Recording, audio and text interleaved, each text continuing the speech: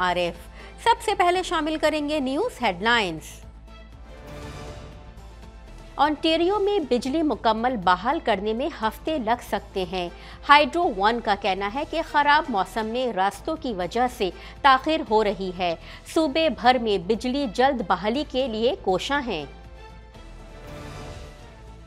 Canadian सूबे Ontario की हुकूमत का अदालती फैसले के खिलाफ अपील का फैसला। ऑन्टेरियो फेडरेशन ऑफ़ लेबर ने हुकूमती फैसले को मायूस कन करार दे दिया। ऑन्टेरियो की अदालत ने बिल 124 को गैर आइनी करार दे दिया था। वफाकी एजेंसी की ताखिर से तंग हवाई मुसाफरों का मुआवजे के लिए अदालतों का रुख।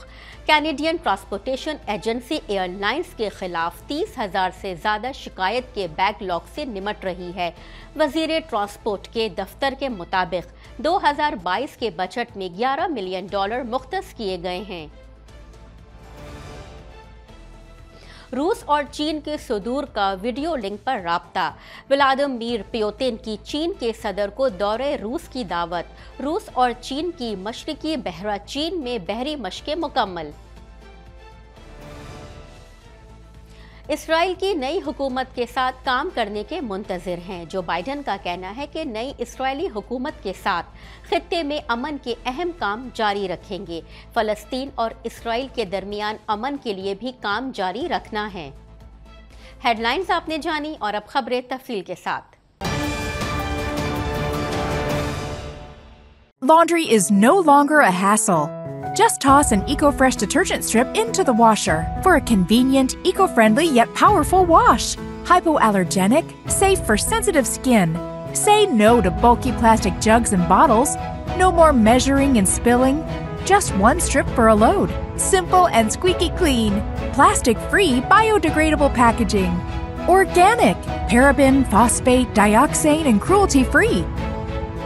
Order now at www.ecofreshcanada.ca or at Amazon.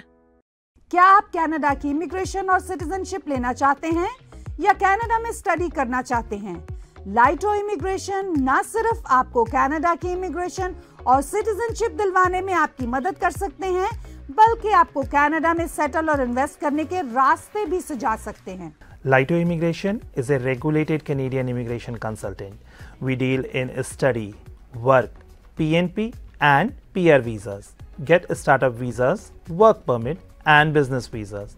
We rise by lifting others. Lie to Immigration.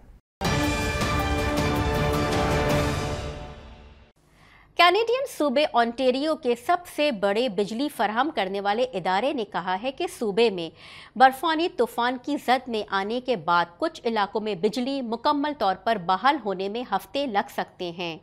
मजीद जानेंगे इस रिपोर्ट में। कैनेडियन सूबे ओंटारियो के सबसे बड़े बिजली फराहम करने वाले इदारे का कहना है कि सूबे में बर्फानी तूफ़ान की जद में आने के बाद कुछ इलाकों में बिजली मुकम्मल तौर पर बहाल होने में हफ़्ते लग सकते हैं। हाइड्रो वन के बिजली बंदिश के नक्शे के मुताबिक जुमेरात की सपहर तक हज़ारों सार्फिन बिजली से महरूम थे। कुछ के जुमे तक चलने की तो है। लेकिन यूटिलिटी का कहना है कि हिंड्सविल में बंदिश, जहाँ 2000 से जायद रिहायशी जुमेरात को अभी तक तारीकी में थे 15 जनवरी तक मुकम्मल तौर पर बहाल होने की तो नहीं है। हाइड्रोवन के तर्जुमान का कहना है कि बर्फ़ की एक और लहर की वजह से इस इलाके में बहाली का काम सुस्त पड़ गया है, जिससे बंदिश की तादाद में इजाफा हुआ है। कुछ ऐसे हालात हैं जहाँ तूफ़ान के आगाज़ से ही लोग बिजली से महरूम हो सकते हैं और फिर ऐसे लोग भी हैं जो मुसलसल खराब मौसम की वजह से हालिया बंदिश से मुतासर हो सकते हैं। हाइड्रोवन के मुताबिक पेरिस साउंड की बस्तियों में तकरीबन एक हज़ार सार्फिन के पास चार जनवरी तक बिजली नहीं हो सकती। गुजशत हफ़्ते तूफ़ान के बाईस ऑनटेरियो और क्यूबैक के कुछ हिस्सों में लाखों अफराद बिजली से महरूम हो गए थे। हुकाम के मुताबिक शदीद, बर्फबारी और तेज़ हवाओं ने बहुत से दरख्तों को गिरा दिया, जिसकी वजह से मजीद बंदिश हुई है और हाइड्रोवन के मुलाजमीन को मुतासर इलाकों से रोक दिया गया है।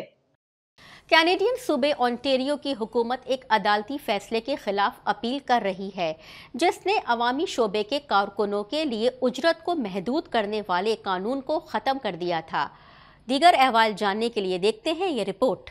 कैनेडियन सूबे ओंटारियो की हुकूमत एक अदालती फैसले के खिलाफ अपील कर रही है, जिसने अवामी शोबे के कारकुनों के लिए उजरत को महदूद करने वाले कानून को ख़त्म कर दिया था। ऑन्टेरियो की आला तरीन अदालत में दायर करदा अपील के नोटिस में सूबे का इस्तदलाल है कि जज ने इस फैसले में गलती की है कि बिल 124 दरख्वास्त गुजारों के अंजुमन की आज़ादी और इज्तमाही सौदेबाजी के हकूक की खिलाफ वर्जी करता है। उनतीस नवंबर को अपने फैसले में जस्टिस मार्क्स कोहैन ने इस कानून को गैर आइनी करार दिया। कई लाख पब्लिक सेक्टर के मुलाजमीन की नुमाइंदगी करने वाले ग्रुप्स ने 2019 के कानून की आइनी हैसियत को चैलेंज किया था, जिसमें ऑनटेरियो पब्लिक सर्विस के मुलाजमीन के साथ साथ पब्लिक सेक्टर के वसीतर मुलाजमीन के लिए एक फ़ीसद सालाना की उजरत में इजाफे को महदूद किया गया था। फैसले के एक हिस्से के तौर पर कोहनन ने कहा कि ऑनटेरियो ने यह वजाहत नहीं की है कि उजरत पर पाबंदियाँ आयद करने के लिए आईनी हकूक की खिलाफ वर्जी क्यों ज़रूरी थी, जबकि साथ ही साथ टैक्स में कटौती या लाइसेंस प्लेट स्टिकर की वापसी उजरत से होने वाली बचत से दस गुना ज़्यादा है। ऑनटेरियो फेडरेशन ऑफ़ लेबर ने कहा कि वो हुकूमत के अपील करने के फैसले से नाराज़ है। बिल 124 ने कारकुनों के मैारी ज़िंदगी को बुरी तरह मुतासर किया है और हमारे सेहत की देखभाल के ज़्यादा बोझ वाले निज़ाम में अमले के बहरान जैसे मसाइल को मजीद खराब किया है। इस वक्त डाकपोर्ट हुकूमत को इस सूबे में बैक वक्त अखराज और सेहत की देखभाल के बहरानों से निमटने के लिए बामायनी कार्रवाई करने पर तवज्जो मरकूज करनी चाहिए। इसके बजाय वो अदालत में कारकुनों से लड़ने के लिए अवामी डॉलर खर्च करने का इंतखब कर रहे हैं। सूबे ने दलील दी थी कि कानून आईनी हकूक की खिलाफ वर्जी नहीं करता। ये कहते हुए कि चार्टर सिर्फ़ सौदेबाजी के अमल को तहफ़ फराहम करता है। नतज का नहीं, और कहा कि ये बिल खसारे को ख़त्म करने में मदद के लिए एक वक्ती तरीका है। सूबाई हुकाम का कहना है कि चूँकि ये मामला अदालतों के सामने है, इसलिए मजीद तबसरा करना नामुनासिब होगा। बहुत से कैनेडियन जिनके सफरी मंसूबे परवाज़ों में ताखिर या मनसूखी की वजह से ख़राब हुए थे, वो मुआवजे के कवानीन को नाफिज करने के ज़िम्मेदार एजेंसी के ज़रिए अपनी शिकायत पर कार्रवाई का इंतज़ार करने के बजाय अदालतों का रुख कर रहे हैं। दीगर अहवाल इस रिपोर्ट में। बहुत से कैनेडियन जिनके सफरी मनसूबे परवाज़ों में ताखिर या मनसूखी की वजह से ख़राब हुए थे, वो मुआवजे के कवानीन को नाफिज करने की जिम्मेदार एजेंसी के ज़रिए अपनी शिकायत पर कार्रवाई का इंतज़ार करने के बजाय अदालतों का रुख कर रहे हैं। कैनेडियन ट्रांसपोर्टेशन एजेंसी एक नीम अदालती ट्रिब्यूनल और रेगुलेटर जिसको एयरलाइंस और सार्फिन के दरमियान तनाज़ात को हल करने का काम सौंपा गया है।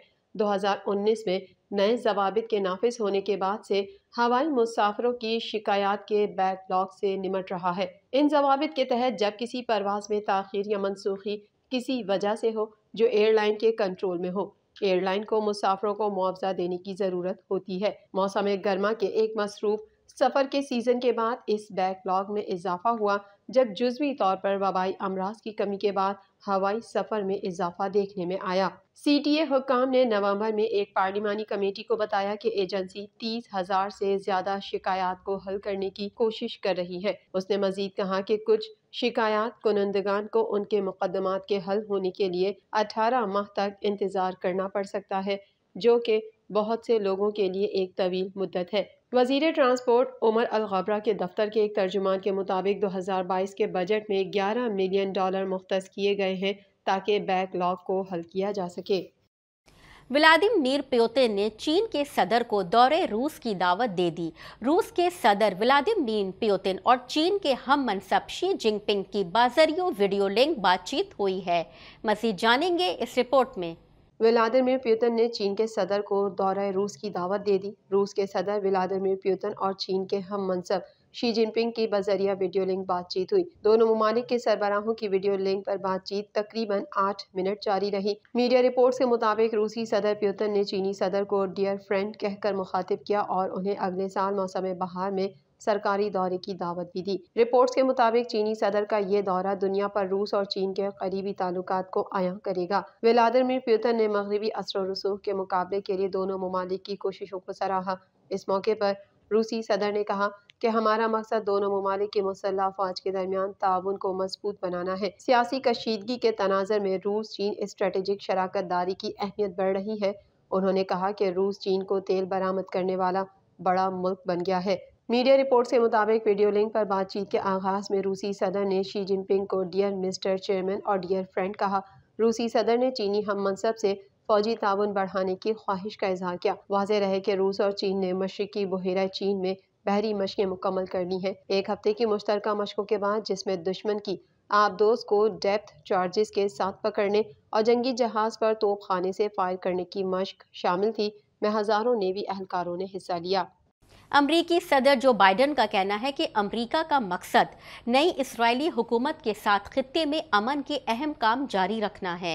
इनका कहना है कि इसराइल के लिए नए वज़ीर आज़म नेतन याहू के साथ मिलकर काम करने के मुंतजर हैं। मजीद जानते हैं इस रिपोर्ट में। अमरीकी सदर जो बाइडन का कहना है कि अमरीका का मकसद नई इसराइली हुकूमत के साथ खत्े में अमन के अहम काम जारी रखना है। उनका कहना था कि इसराइल के नए वज़ीर अजम नेतन्याहू के साथ मिलकर काम करने के मुंतजर हैं। इसराइल में नई हुकूमत के क्याम पर सदर बाइडन ने अपने बयान में कहा कि अमरीका का मकसद नई इसराइली हुकूमत के साथ मिलकर अमन कायम करना है। नई इसराइली हुकूमत के साथ फ़लस्तीन और इसराइल के दरमियान अमन के लिए भी काम जारी रखना है। उन्होंने कहा कि अमरीका दो रियासती हल की हिमायत जारी रखेगा और दो रियासती हल की अमलदारी को खतरे में डालने वाली पॉलिसियों की मुखालफत करेगा। वाज रहे कि इसराइल में तीसरी बार वज़ीर अजम बनने वाले बिन यामिन नेतन्याहू दाएँ बाजू की इंतहा पसंद जमातों और यहूदी आर्थोडिक्स जमातों के साथ मिलकर नई इतिहादी हुकूमत तश्कील देने में कामयाब हो गए हैं। टैग टीवी के पाकिस्तान स्टूडियो से फ़िलहाल इतना ही। मजीद खबरों और अपडेट्स के लिए देखते रहिए टैग टीवी।